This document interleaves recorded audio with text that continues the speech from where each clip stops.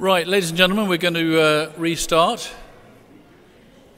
I hope you're enormously refreshed by your uh, coffee break, courtesy of Elsevier. So I'd like to thank the sponsor for that. Um, right, we now have two uh, interesting presentations for you. So uh, this is really on the theme of library library-based publishing, and um, two kind of interesting uh, uh, different ca cases on takes on this. Uh, we have Maria Bonn from the uh, University of Illinois talking about some research into uh, uh, that area, and then we get Lucy Lambe from LSE, where they've conducted a project to look at creating a an LSE university press. Again, their biographies are in the program, so I'm not going to uh, go through all of that, um, but I'm simply just going to hand over straight away to Maria Bonn. Thank you.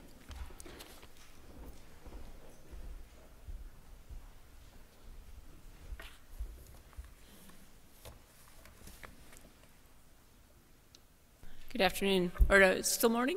Just still morning. Um, I'm Maria, and I'm here today to talk about publishing without walls.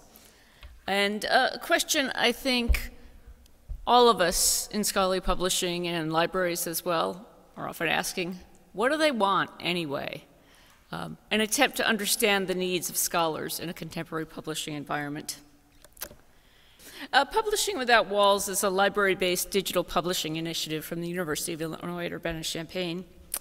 Uh, the project is funded by the Andrew W. Mellon Foundation. Uh, we're located in the university library, partnering with the School of Information Sciences, which is my home base, the Illinois Program for Research in the Humanities, and the Department of African American Studies. Four-year project, and we're into year three at this point. I'm talking today about one piece of this large project, the research piece. Uh, but first, I want to do a little bit of professional and um, disciplinary location. Uh, because of the interests of our funders and an area in which we saw some unmet need, we're particularly focused on the publishing needs of humanities scholars. And that's what I'll be talking about today. And I also want to say that um, we are, uh, when we talk about digital publishing, we tend to scope that with our research subjects as publishing that is designed to take advantage of the communicative and representational affordances of the web, uh, not just a, a, replication of essentially print on screen, uh, but publishing that is intended to exploit digital affordances.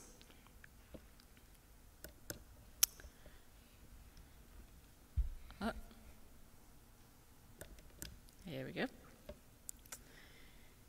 So within the broader publishing ecosystem, our focus is on supporting open access scholarship and experimental forms of scholarly communication. We contend that in a rapidly evolving digital publishing landscape, academic libraries are well poised to address pu scholars' publishing concerns about gaining access to opportunities for publishing support and, and reskilling, about providing open access to intellectual content, and ensuring access to the audiences who will most benefit from their work. Um, our primary objectives focus on building capacity, both our own as publishers and our scholars, uh, doing development in alignment with scholars' expressed needs, and exploring new models for scholarly communication. So these objectives are designed to ensure that development activities are informed by and proceed apace with scholars' current practices, perceived needs, and publication activities. The scholars' needs are the driving force of all our development activities. And this is where I come in. I lead the research piece, the one I've put in red up here. Um, and I have a, a shady past as a publisher myself, and returning to the classroom and being a researcher, I'm having a wonderful opportunity to try to answer some of the questions I probably should have asked on my first day on the job, uh, but now I get to do so in a, in a formal way.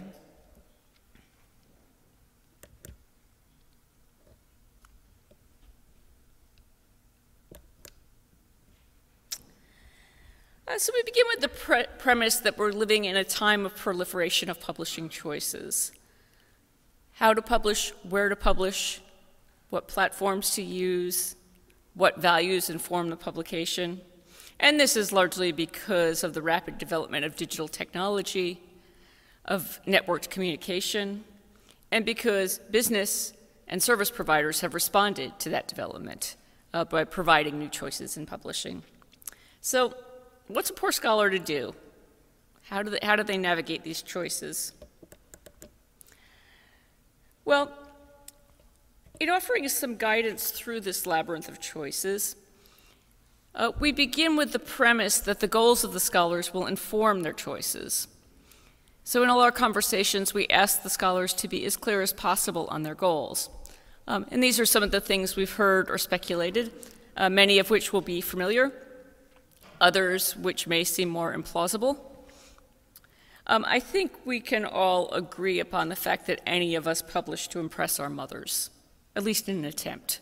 Um, other, than that, other than that, we hear a, a wide range of reasons.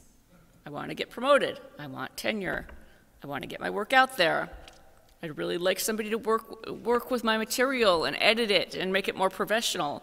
Uh, one uh, scholar said to me, uh, I love my publisher. She keeps me from embarrassing myself. Uh, done cleanup and editing and those kinds of things. Uh, so, given this wide range of goals, what's the best way to go about your publishing?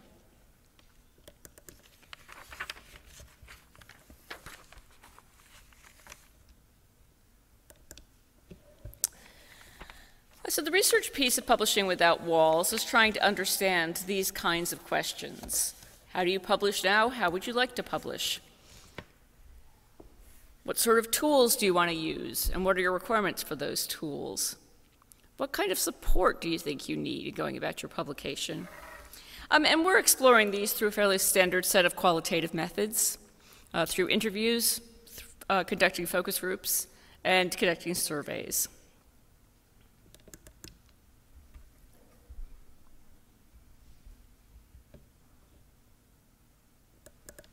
Ah, here we go. Uh, so, being good information scientists, we began with a survey.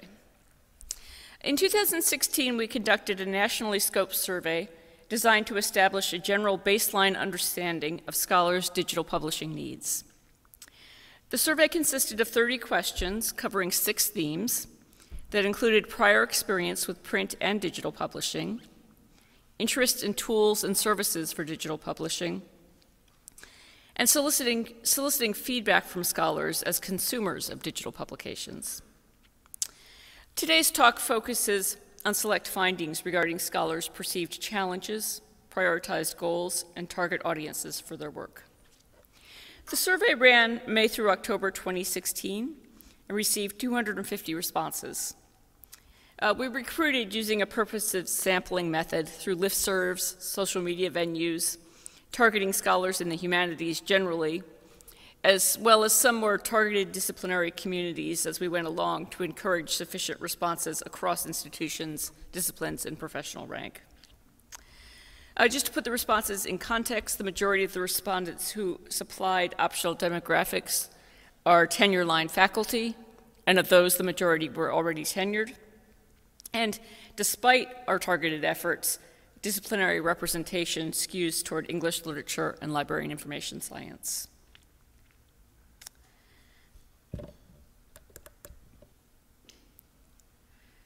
We wanted to develop a better understanding of scholars' publishing goals and how they prioritized across multiple goals.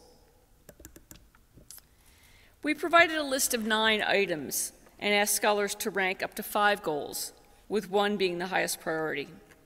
The top two goals by far, perhaps unsurprisingly, are to contribute new information in the field and to encourage and participate in dialogue about your area of study. We believe these goals are well supported by our publishing, library publishing efforts. Several of the platforms we support include features for fostering dialogue through annotation, through peer review, open peer review, or open review, excuse me. We also hope that library-based publishing is a good fit for scholars who wish, wish to reach the widest possible audience. And the number of scholars who indicated that priority in the survey is non-trivial. We may, however, at this time, present a relative disadvantage to those prioritizing professional advancement. We're new and we're still small, for which publication expectations may vary by discipline and department. And of course, for that, that lone scholar who's in it for the money, eh, nothing says get rich quick like doctoral studies in the tenure track.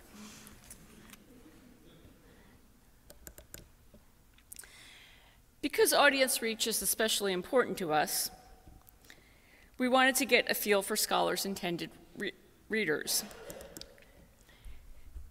These choices were presented as a checklist, and scholars could choose as many as applied. Sorry, I'm having advancement issues again. There we go. While, reading, while reaching scholars in one's own discipline was the most common response, it's perhaps a bit more interesting to see the strength of interest in reaching across disciplines and outside the academy. And perhaps it's a, a, little amusing to see how little interest there is in reaching colleagues at one's own institution. It's that tiny little sliver there at the bottom. Maybe we figure our colleagues know already?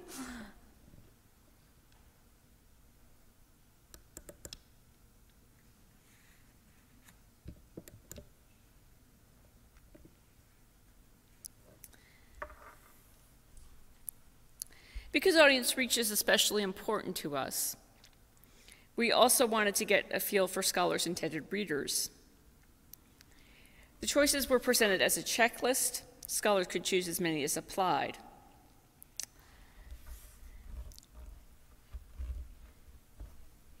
And then in order to understand how scholars measure success, at least, or at least have a sense of having met goals, we also probed on a variety of measures and metrics asking them to indicate the degree of importance of these measures. Various indicators of use and of attention are popular. But the runaway favorite is direct communication from other scholars in your discipline, reinforcing the popularity of the goals of reaching scholars in one own, one's own field that we saw early, and of contributing new information to the field. Uh, and we neglected to include praise from your mom.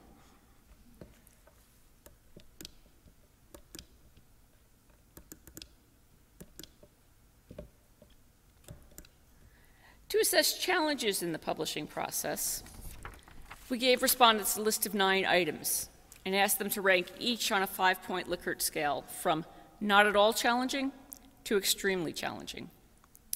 This chart represents the percentage of respondents who indicated each potential issue as either quite challenging or extremely challenging in print or digital publishing. The top three challenges for digital publishing include getting adequate technical, editorial, and financial support.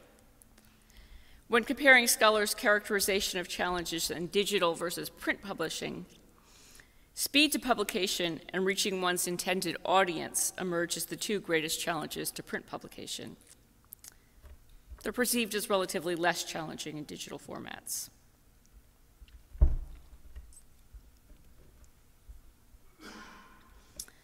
This emphasis on support, editorial, technical, financial support, indicates the importance of early intervention in digital publications.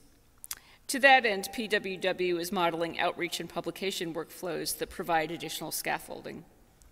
In addition to hands-on workshops, these include technical consultation with the production team to assess requirements and match projects to the most appropriate platform, and prior to entering the formal uh, production pipeline, scholars are given access to a sandbox environment to experiment. We also designed questions to get a sense of the scholarly publishing experience. On a five-point Likert scale from extremely important to not at all important, respondents ranked 10 services. 151 participants ranked at least one item. These responses were coded from one, not at all important, to five, extremely important. Communication and transparency from the publisher in the process was clearly most important, followed closely by peer review coordination. More than half of respondents ranked digital archiving and preservation. publisher intervention for representation of content, marketing and audience creation support, support for navigating third-party permissions, and hosting for supplementary digital materials as either four or five, important or extremely important. Responses varied considerably for remaining services across the entire range of options. Once we had a sense of need, we wanted to know if need was being met. After calculating the average satisfaction across responses, more than half of respondents indicated that peer review coordination was either adequately or very adequately supported. Perceived adequacy of support varied considerably across the other categories.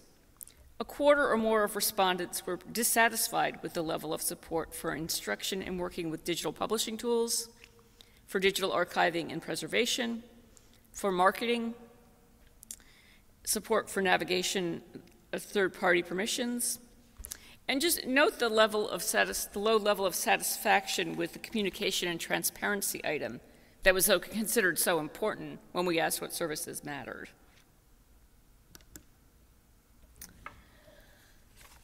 So is, here's just a, uh, the elevator pitch, uh, a recap of some of the things that we found. Um, print publishing is too slow. Um, digital publishing needs a lot of support. Money doesn't matter much. Sales don't matter. Neither do its institutional colleagues. Reputation and attention in the field matter a whole lot. Scholars want to know what's going on behind the curtain. And uh, this one didn't come up in my slides, but it's clear in the survey most people think they're more accepting of change than their peers. I'm ready to change, but the rest of them, this is still an issue. So these re results represent only a small fraction of the overall survey, but we found them informative as we seek to situate library-based digital scholarly publishing within the broader ecosystem. A little less than a year ago, after concluding the survey, we began conducting interviews with scholars, largely in the humanities again, about their publishing goals and experiences, with special attention to their attitudes toward digital publishing and their perceptions of the benefits and challenges of that publishing. To date, we've conducted about 20 interviews. We intend to do several more until mid 2018. We've just begun the formal coding and analysis of the transcripts of those interviews. We find, it will not surprise you to learn, that scholars have quite a bit to say about publishing. We almost always overrun the allocated hour. And the interviews we have done so far provide us with a very rich body of reported experience, opening a wonderful window into the world of scholarly publishing. It may also not surprise you to learn that feelings are mixed and opinions are not always shared. Go figure. In the interviews, we elaborate on many of the themes of the survey, but we focus the conversations around publishing plans for a project currently underway. And we contextualize that conversation with general inquiries about past publishing experiences. In all our interviews so far, no respondent has cited a particularly successful publishing experience. I don't know if this means that publishers have a lot of work to do in managing author relations, or that there's just no pleasing them, the scholars. I'm not going to read to you these um, uh, I've, I've selected out of our interviews transcripts so far. Uh, I'll just let you uh, have a look at them as I'm talking. I just want to say that um, shifts in font styling indicate different speakers. I was very purposeful about not having one voice. Uh, there's one person uh, that's repeated in the next few slides, but mostly these come from uh, different interview um, candidates.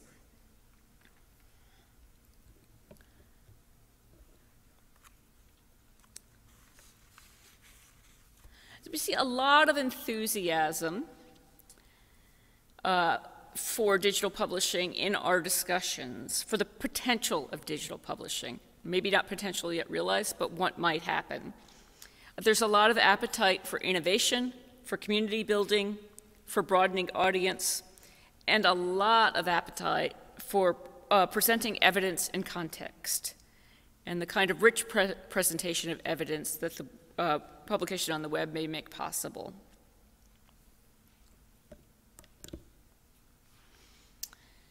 Another recurring theme is that in digital publication makes possible an evolving document, one that can be revised and updated quickly, one that can respond to uh, online feedback.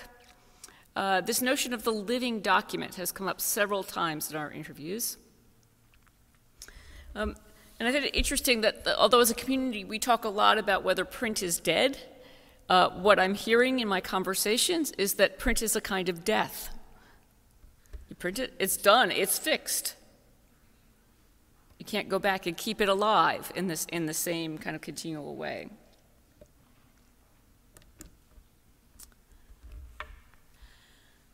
Another theme emerging, and one that I hadn't actually uh, anticipated, but has come up at every interview, is questions about time. Oh, but wait, that first, that first quotation, that's not one of our interview subjects. That's Oldenburg. Uh, this is in the notes, the introductory notes to the first volume of the, of the Philosophical Transactions. A lot of people are doing weighty productions, which require both time and assistance for their due maturity. Um, I've heard that in paraphrase from almost every um, interview respondent. Time and assistance, time and assistance. Uh, so I can report from my experience that again and again the conversations turn to time. Not enough of it, or too much of it passing.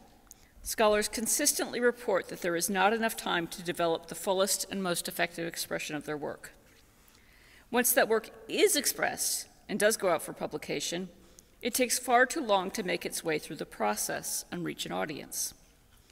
And increasingly, we're hearing an expression of need for timely support. The 24 7 librarian or 24 7 editor who's there on chat late on Sundays, for instance. Somebody did ask for this.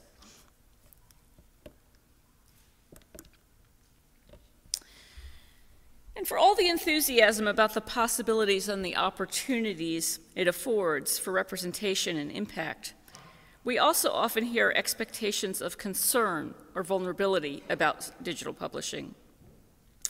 You may recall in my brief recap of the survey results that most of our respondents think they are less conservative about changing methods of publication than their colleagues, perhaps less conservative than their institutions, too. Is how we're hoping all of our work comes together, uh, that the research that myself and my team are doing will inform the development of tools and services, that what we're learning about the goals of our scholars inform the deployment of our tools and services, and as the tools and services get better, the scholars get more excited about using them. Um, and that leads them to imagine new possibilities for their work. And of course, ultimately, we hope to make the world a better place. Um, all of the work that I've presented here today are, is uh, a highly collaborative team at the University of Illinois Urbana-Champaign. Um, there is a lot of people who are also busy being administrators, students in some cases, and doing other kinds of scholarship, uh, but we all work together on this. And just before I leave today, um, I'd like to point your attention to this URL here, where we have a question by question analysis of our survey with a visual interpretation supporting each analysis. Uh, we're working up uh, an article for formal publication now, but this is freely available in our institutional repository, um, and you can work through each of the questions there if you're interested. And I do hope you find our work worth pursuing further. Thank you.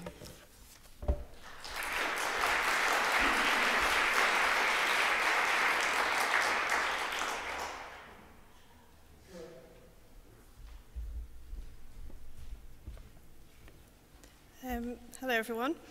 Thanks for having me come and talk today. Um, I'm the Scholarly Communications Officer at LSE Library, and my normal role is to provide a publishing advice service for staff and students, and has also recently included um, this project um, that has been looking into the possibility and then the implementation of a publishing platform for the school.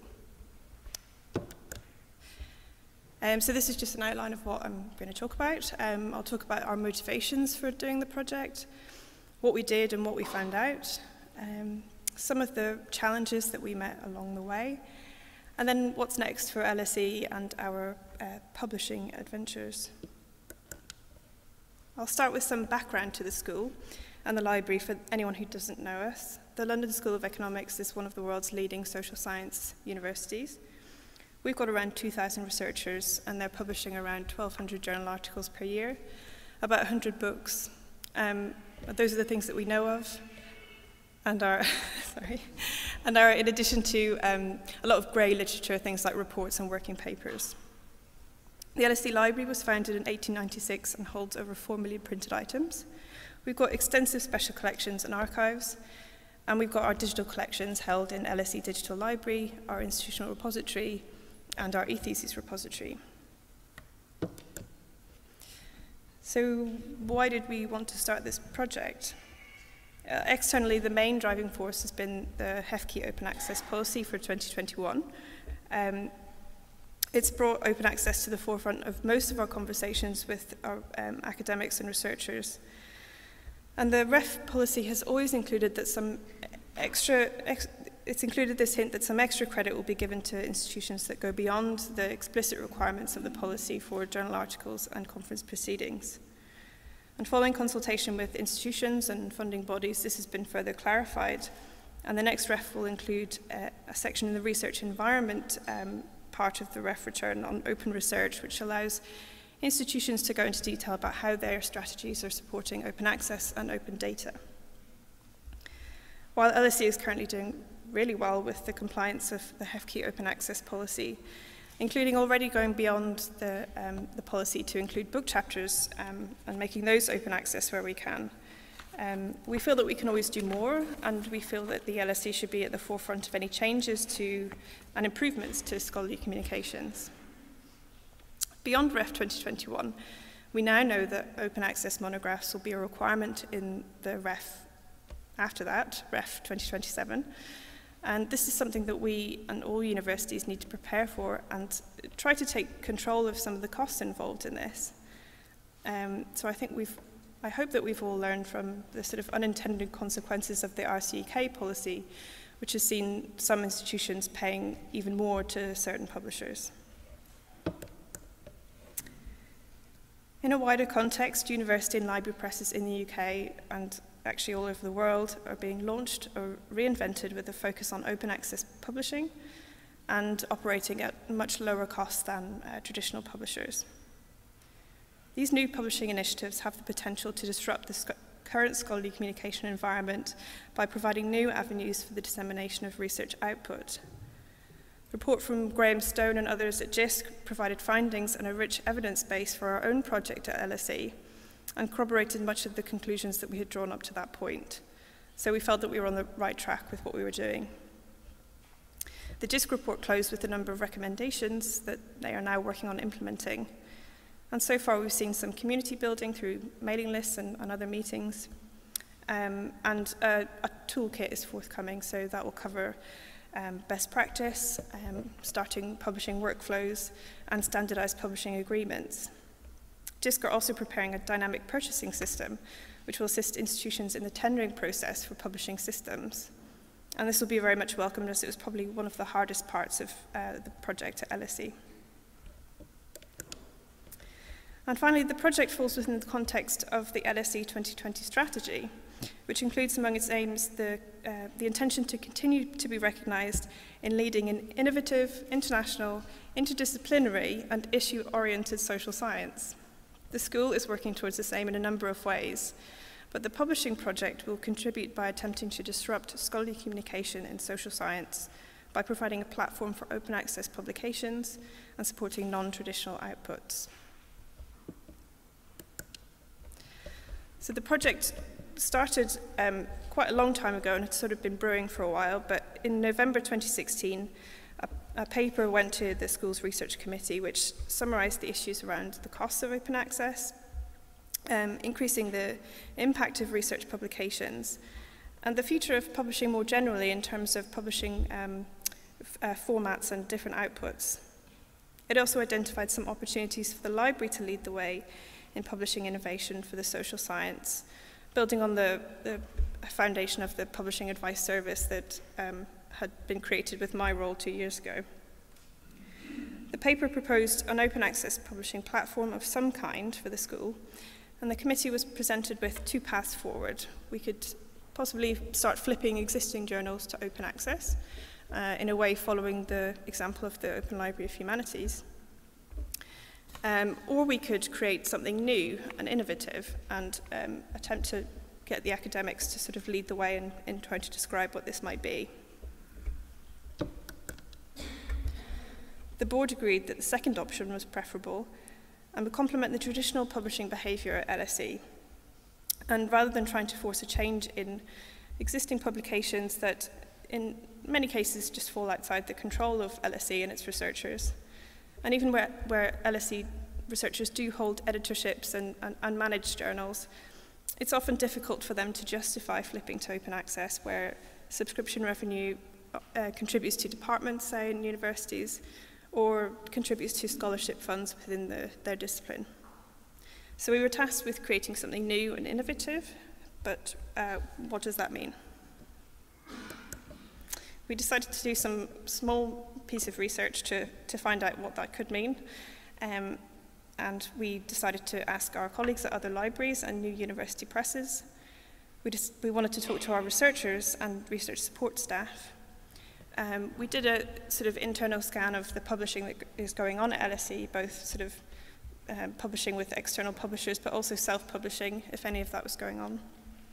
And we wanted to look at the available platforms that were out there to, that we could possibly implement to support this.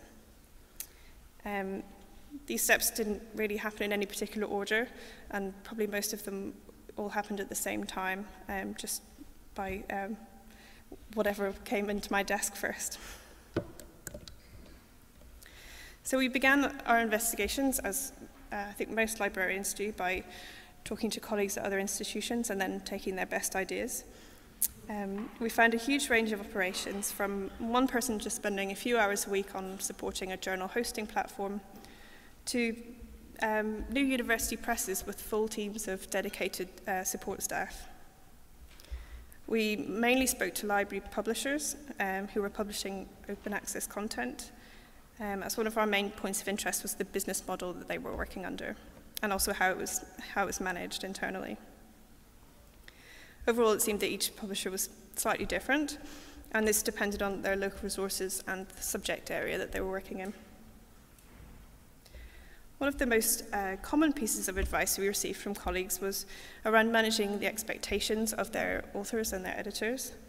So as I said, we spoke to some full university presses who were doing full um, publishing process, um, and some just providing a journal platform. So managing the expectations of authors and editors is really important here, particularly if you're providing a more basic service. Uh, for example, if you're not providing copy editing services or there's a charge for that, just make that clear to the editor at the beginning of the process. And you can help them to manage um, covering those costs through um, APCs, for example, or uh, finding other sources of funding.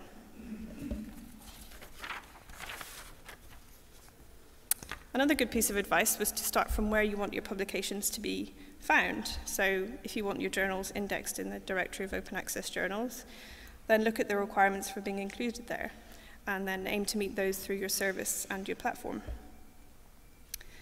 I was comforted to see that many library presses are, are capably run by about one FTE. Um, although, as you would expect, as the press produces more publications, um, the staff requirement increases too. And this seems particularly apparent when monograph publishing comes into play.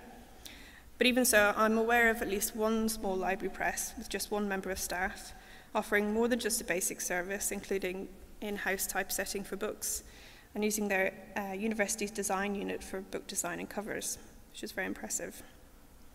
Uh, so this conversation with other library and small university presses is very much still ongoing, mainly me asking them desperate questions about what I'm doing. Um, And we've got our own sort of mailing list and we're planning uh, meetups throughout the year. I spoke to many of our researchers and this was a crucial step in the process because at LSE, if the researchers aren't happy, then no one is happy. Um, uh, and meeting with the researchers to get their thoughts on publishing. And the possibility of the library uh, providing a publishing platform was really fascinating. I wanted to hear their stories and experiences with the publishing process, how they make their decisions, and what they think could be improved or could change in the future. One particularly encouraging story came from a philosophy academic who would like to see more open access journals in his discipline and couldn't understand why more journals weren't just flipping to open access. It just seemed so obvious to him. He works in a field of philosophy of science that crosses over with physics, so he's seen the growth and the value of the archive, the the physics preprint server, um, and what a valuable resource it is to, to him and colleagues. As for books, he sees the academic book of the future being open. Quote, if everything is open access, then the work can speak for itself. So rather than relying on the brand of publisher, you can just read the work. On the other side of this argument was a history researcher who had heard rumours about the open access monograph requirement in REF 2027. We met to discuss the possible consequences of this, including um, more library and university presses publishing open access monographs. But our conversation kept coming back to the question of who pays, and concerns that publishing an open access book with your own university or library press might look a bit like vanity publishing. So in this sense, getting the editorial and peer review processes right um, are, are crucial in, in forming a good reputation for your press. And a final story I'll mention now, uh, which was pretty unusual, um, was with an anthropology researcher who said his top priority when publishing a book is not the publisher being a prestigious university press, but actually the quality of the paper that it's printed on. So for him, the material object of the book is just as important as the content, and he avoids otherwise very highly regarded publishers um, for this reason, because he thinks they print on poor quality paper. So we drew some conclusions from these conversations. Um, firstly, that LSE should have some kind of publishing um, operation, a press, something like that. The school's got a global reputation and would easily attract authors to publish under the LSE brand. And most people we spoke to couldn't understand why LSE didn't already have a university press or didn't have one in the, in the past.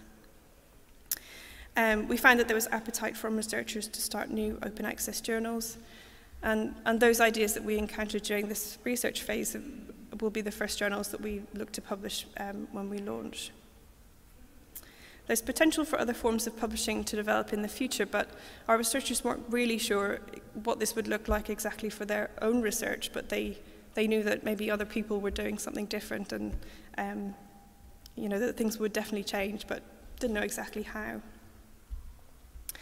And finally, we recognize that a change in culture is needed. So many of our researchers mentioned their departmental journal lists or book publisher lists, which don't give them a huge amount of choice in where they publish. So even if they started their own open access journal, um, would they be allowed to publish it or would it be on their departmental list? And where researchers were interested in the idea of data journals and data papers and more uh, unusual things like that, They doubted whether this type of publishing would contribute to the internal reward and review processes, nor would it matter to other potential employers. And if not, then was it worth the extra effort? So these were really important considerations for us as we wanted the, the publishing operation to be led by academics, with the library providing a platform and some support and guidance for getting started. So we needed to create a platform and a service that they would want to publish with, used to develop their ideas and would champion and recommend to their colleagues. Changing the culture will be a much slower process, um, but we've, we've at least made a start on building the infrastructure and the support to help things get going. Um, so next we looked at uh, what kind of publishing is going on at LSE, and there was a surprising amount that we didn't already know about. Um, We've got several student journals that operate with varying levels of support from their departments and, and, the, and the school.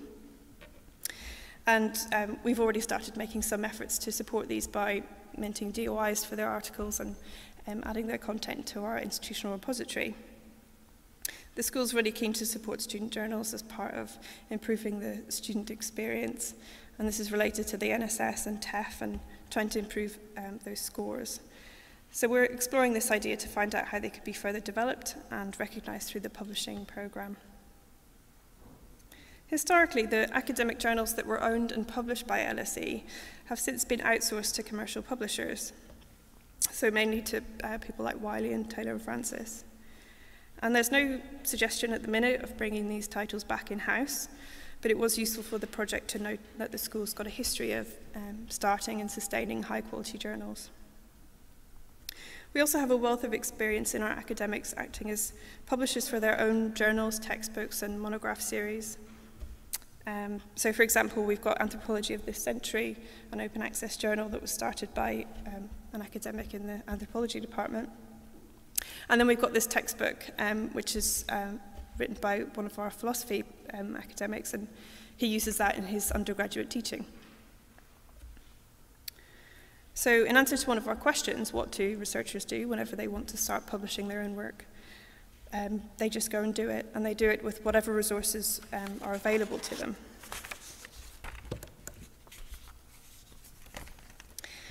So we brought all of the ideas that came out of these um, conversations with academics and other library colleagues um, to a meeting with the university's communications team to help us sort of create some conclusions or a vision. Um, and we started to formulate a vision for the LSE Press as a place for innovation and experimentation in publishing. It would be a low-risk, agile tool for trying something new, with the acceptance that if you started a journal, it might last for a year or two or go on indefinitely, and wouldn't have the assumption that REF, metrics, or ideas of prestige necessarily matter, but it would be flexible enough to support those things if they did. We discussed what academic freedom means in terms of publishing and agreed that it should mean having the space and support to try new things. And this resulted in our guiding principles on the screen. These are very loose and vague, maybe, um, but there's room for interpretation as the service grows. Um, for example, the word innovative um, is uh, pretty open for uh, interpretation. Our first journal that we'll, we will publish is fairly traditional, aside from being open access. But for the editors, the innovation comes from the subject matter and the new interdisciplinary debate. From all of our results, we teased out some requirements for our platform. And while the focus will initially be on publishing journals, we hope that the service will grow and be able to meet future changes to scholarly communications. And I'm thinking here particularly of the future REF policy on open access monographs, but also of the influence of the TEF on uh, changes to how our students access textbooks or publish research of their own. We wanted to offer a familiar publishing environment to our editors but with modern integrations like ORCID, the ability to comment and annotate on text, traditional and alternative metrics, we wanted to see that the platform could or would be willing to develop support for different publishing formats, like multimedia or uh, code. Uh, this was a really difficult stage for us as we were trying to imagine our requirements for a service that didn't yet exist and that we wanted to be as flexible as possible. Plus, most of us on the project team had never been involved in any kind of software procurement. So the process was totally new. As I said, JISC Collections are currently working on a dynamic purchasing system, and we're feeding back to them with our own experience of this uh, in the hope that it will um, benefit other institutions. In the end, Ubiquity Press met most of the requirements we had at this stage, uh, and they indicated that future developments would be based on what the community wanted. And actually, the idea of sharing Ideas and best practice with an existing community of new open access publishers was a big draw for us. We see this as yet another area where libraries and universities should be working together. I'll talk briefly through some of the challenges that we met along the way. So because we were acquiring software, and even though it was hosted somewhere else, we had to make sure that we met all the requirements of our IT department. What caused a lot of difficulty was confusion over what a publishing system is. To people in, in IMT, our IT department, it seemed to be just another content management system, of which the LSE has many. Um, but of course, the platform is not just a, a display case. It manages publishing workflows and links out to production services, which our existing services uh, systems don't do. Our solution had to be hosted, which means we are somewhat limited in our choices and will continue to be limited as the service grows. There are many new and exciting publishing platforms out there, and I'm thinking here of things like Fulcrum and Manifold, and I'm hoping that in the future institutions with the resources to do so will offer hosting for open access, for open source platforms at a low cost. In the same way that we've seen the growth in the number of um, a number of options for hosting repositories or preservation systems for libraries. There could be room for developing infrastructure for hosting uh, publishing or digital scholarship platforms. Figuring out a sustainable business model for open access publishing has been extremely difficult in this project. I've got so many spreadsheets just projecting the possible combinations of what might happen over the next three to five years. And the truth is we just don't know. um, before we announce the service to our academics, we have no idea how popular or successful it will be. And greater success means that we'll need more resource. And without some kind of sustainability model, that means costs to the school can spiral quite quickly. We think we're getting there in terms of a path or a model for sustainability, but it's likely that every publication will be slightly different, which will keep us on our toes. And speaking of being kept on our toes, I also wanted to mention the challenge of going from librarian to publisher. Last year, a workshop was held at the UKSG conference that addressed the skills of library staff in academic libraries where change is happening all the time.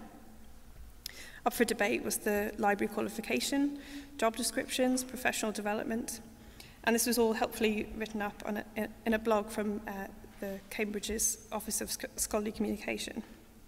I think most librarians would agree that there's something of a skills gap for research support staff due to the ever-changing uh, nature of the role, whether that's from internal causes like increasing and varied uh, support requests from researchers, or keeping up with broader changes to scholarly communication like open research, digital scholarship, funder mandates, that sort of thing. Also last year at this conference, Kent Anderson talked about the 96 things that publishers do, and he's recently updated this to 102 things that journal publishers do. So in this context, where there might already be a skills gap for librarians, and even publishers are losing count of all the things involved on their side of things. How does a librarian turn into a publisher? For me, it's been a challenging but relatively painless process. Having worked in research support for a number of years now, I'm used to things changing and I'm used to having to look outside the library and the profession to keep myself up to date. When we first started planning and thinking about the project, I began attending workshops run by ALPSP to get an introduction to the publishing process, Last year I attended the annual meeting of the Society for Scholarly Publishing, and just two weeks ago we had the University Press Redux, all of which has given me valuable insight into the other side of academic publishing. So as well as developing many new skills, what I found is that librarians and publishers are very similar in how we work. We believe in the importance of information and of high quality research. And when faced with a change or challenge, we all reach out to colleagues to find out what they're doing about it and look for ways to collaborate. So in this sense, although the task can be daunting at times, I'm fully confident in the success of the LSE Press, both despite and because of its library origins. So what's next? I think we'll be continually learning about becoming publishers and we'll need all the help we can get from colleagues um, at other institutions. Um, we'll be starting to make some noise about the project um, within LSE and beyond, and we hope to draw out our own academics with um, great ideas for open access journals and, and other new publications. I'm currently working with our first editors and the journal that will launch with us. Um, hopefully, we're looking at launching within the next couple of months, um, if everything goes as planned. Um, so please look out for us, spread the word, um, give us any feedback that you might have. And thank you for listening.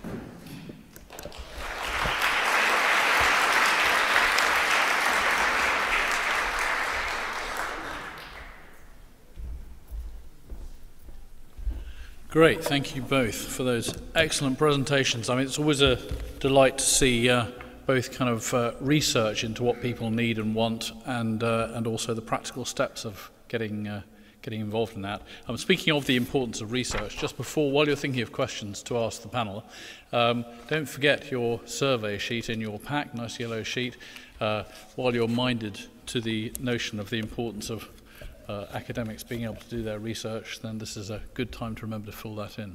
Um, okay, good. We've got a nice bit of time for questions, and I'm sure that there's plenty of people in the audience who will have questions. I see one or two already. Um, there's people in the audience with, with microphones uh, to hand out, so uh, we'll start with uh, Anthony there. Anthony Watkinson, uh, CIBER Research. Um, this is about monographs primarily. And it's about humanities monographs, obviously. And it's a question for both of you, but particularly for Maria, who will recognize some of the stuff I'm going to quickly ask about.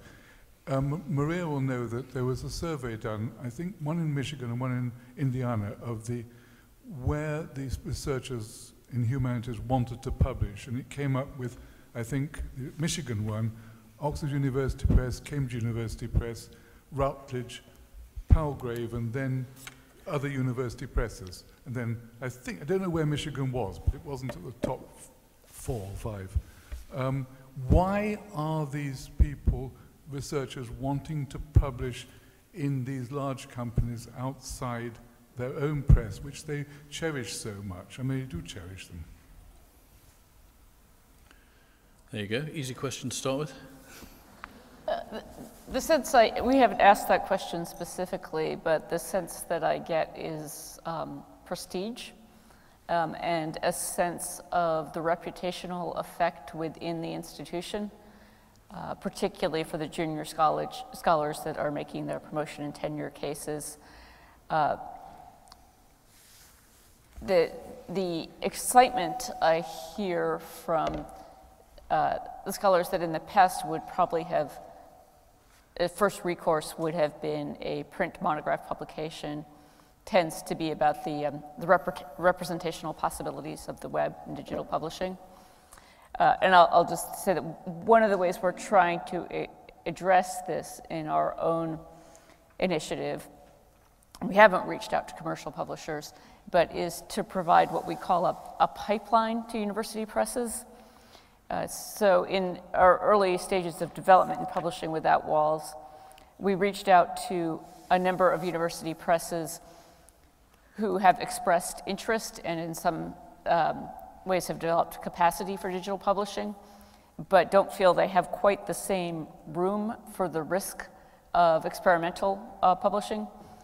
And they said, so what if we come up with a great project that's a great fit with your list but the author's first primary goal is to have a digital representation for it to be open access. Can we broker a conversation about there also being um, a, a, print and ebook uh, monograph coming out under your imprint? Uh, and we had four university presses that said, sure. Uh, and so we're working that, that through now. We have publications in digital development where we're just starting to try to figure out the workflow and the pass, passing it on uh, so as to allow um, scholars to take advantage of, of both of those things. Uh, so that's the way we're addressing the issue. But my short answer, I think, is pr prestige and reputation. I suppose I can add something from um, my experience as, uh, in running the publishing advice service at LSE. Um, I mainly deal with um, PhD or um, people who've just gained their PhD and they're, they're looking at publishing a book for the first time. Um, and their main consideration is um, where do people publish in their department, but also they're looking at um, where might it be best to get published in terms of speed.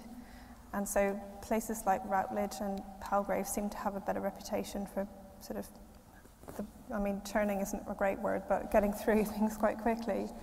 Um, but also they're looking at the price of um, how much it's going to cost to buy the end product.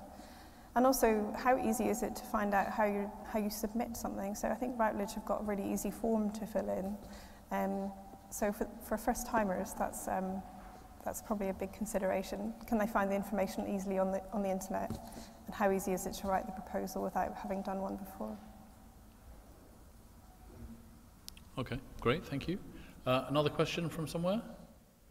Don't be shy now, otherwise I'll have to start asking questions. Uh, well, no, uh, let's, let's give somebody else a chance, Anthony, just for a moment. Let's, just hold on. Uh, okay, I'm, I'm just going to ask a question that's on my mind, which you talked a little bit about the skills gap issue.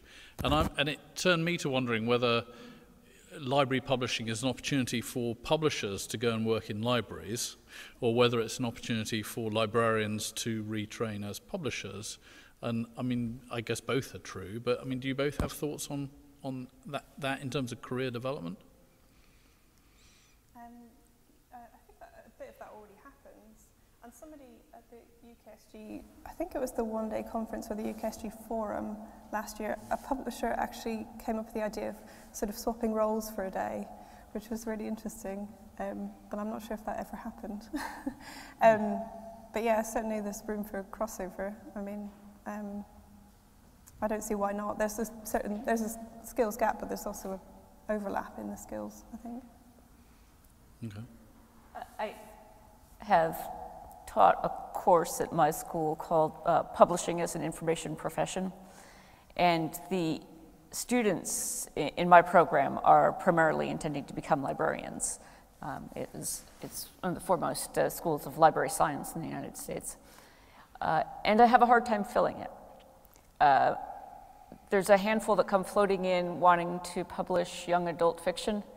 And if I suggest that's not the primary focus of the class, um, they, they leave.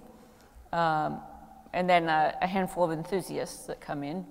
Uh, but what's interesting to me is when I sort of announced in my scholarly publishing world that I was going to teach this, uh, the number of um, emails that I got almost immediately from librarians saying, put it online, please. Uh, these were working librarians who had come to a recognition that they needed to, to tool up in this area. Uh, I haven't put it online yet.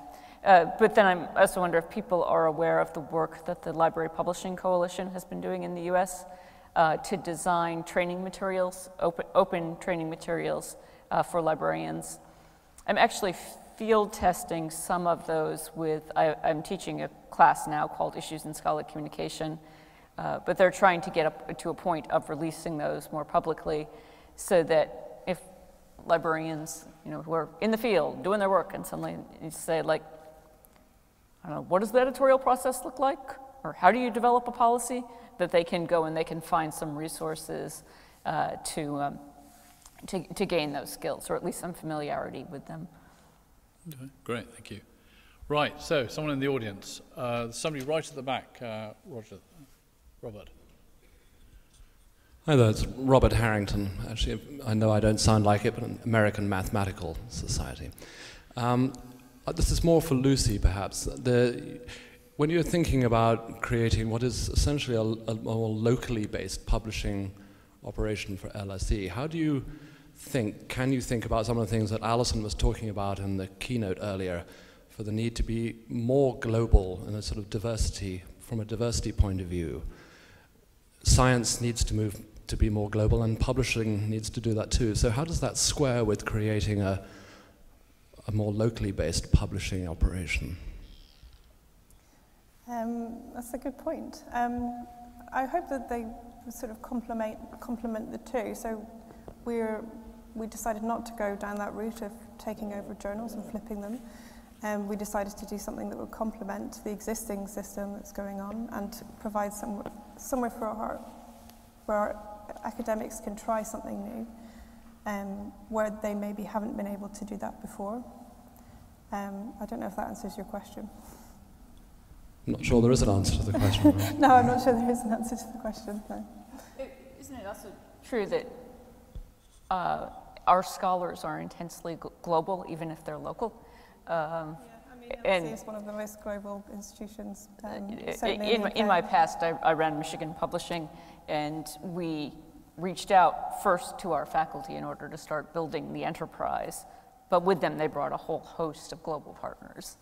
And so the primary point of contact was still local, but you can get global pretty quickly, I think. Okay, thank you. And Robert, you know, despite what you say, you did sound quite mathematical back there. I don't know. So, uh, right, next question. Uh, yes. I was interested. And you could uh, yes. say who you who yes. you are, if that. If Anna Sharman, Cofactor with a training consultancy company. Um, I was interested in the survey result. I think it was Lucy saying that um, authors want to set up their own journals. And I'm kind of interested in, I, mean, I don't know if you found out why that was. There is an argument that there are already quite a lot of journals, and do we really need any more? um, yeah. Um, so we've had a few, and I mean, the one that we're launching with is quite traditional, which I think is good for us because we're just learning about how to do it all. Um, but the other sort of ideas that we picked up and, and proposals are actually more, um, slightly more experimental. So we've got one idea for a journal of code, um, which in the social sciences, I guess, is quite new. Um, and then another um, idea for a social science mega journal with open peer review and you know all of these new things that we're talking about in open science, which is really exciting. And I'm not really sure how how we're going to do that, but um, that, that's the whole point of the project is to find out what the ideas are, how can we make them happen, um, and are they sort of viable. Okay, um, right, another question just right on the front there. Uh, Matt Day from Cambridge University Press. So uh, I think it's fantastic that the more people are involved, interested in publishing and taking it seriously and having a go, it, it, it's just better for the whole publishing enterprise. Um, but I'm curious about whether you feel, I mean, this is perhaps for uh, Lucy, but for both of you, whether you feel that you're, through your interests in it, you're essentially coming up with the same problems that publishers have already solved and you're just either coming up with new ways to solve them or coming up with the same solutions or whether you feel that you really are finding new ways to do things or ways to do new things. Do you really feel that you're doing things differently? Um I'm I'm not sure and uh, we won't know until we start doing it. Um finding new ways to solve old problems is probably not a bad thing in itself. I think that's probably a good that would be a good outcome if we if we got to that point. Um, if we don't solve any problems, that might that might mean we're on the wrong track. But um, um, yes, I, I, I hope that there's room for us in the um, sort of scholarly publishing ecosystem. Um, and I think you're right. I think the more people, the better. The more brains, the better. I'm perhaps interested in the problems that haven't been solved yet.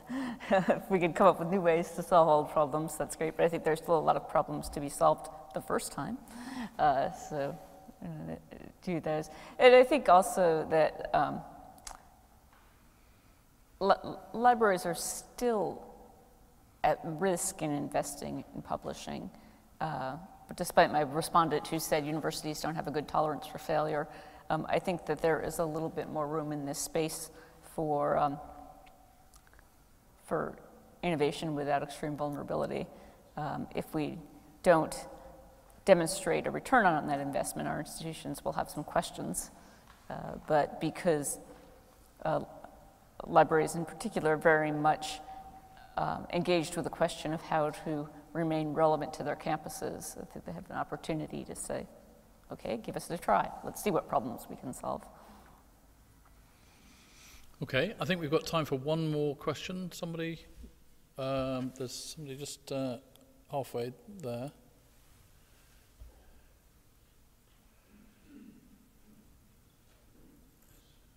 Um, hi, Gav Cole from Loughborough University. It's a question for Maria, if I may. Um, on one of your slides from the survey results said that digital archiving and digital preservation were seen as important to researchers. I was just wondering, I appreciate it's difficult from a survey, but from the interviews, whether you'd been able to tease out whether all researchers meant the same thing by digital archiving and digital preservation, and if so, what they meant by that. I would say no, they don't all mean the same thing, uh, but you know, ranges of things I've heard are from I want the links to continue to work, uh, to knowing that there is um, a safe place that's a reductive, but a safe place for storage. Um, and a lot of, uh, I mean, libraries, I think, get a lot of mileage out of their reputation for preservation, uh, and that the um, interview subjects say, I like the idea of working with the library on this because I know the library will pay attention uh, to, to preservation because it's what they do. Um, and I hope that's not an overestimation of libraries. I know it's what we try to do.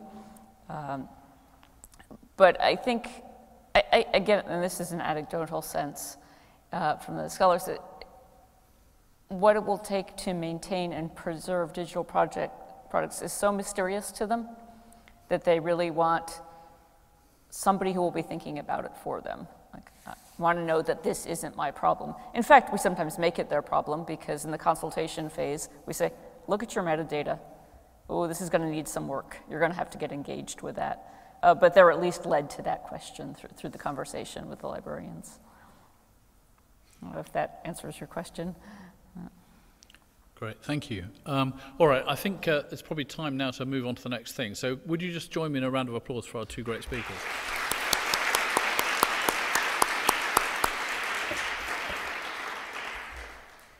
Um, so we're now going to move to uh, lunch. You'll be thrilled to know uh, lunch uh, today is sponsored by Silverchair, so thank you for that. Um, uh, the, if you have dietary con concerns or requirements, uh, the food should be labelled uh, with any kind of allergens or concerns that you might have. Um, or if you've been spoken to personally, there might be a special plate set aside for you. Uh, so uh, we'll see you back here in, um, I think it's uh, 50 minutes. So thank you very much.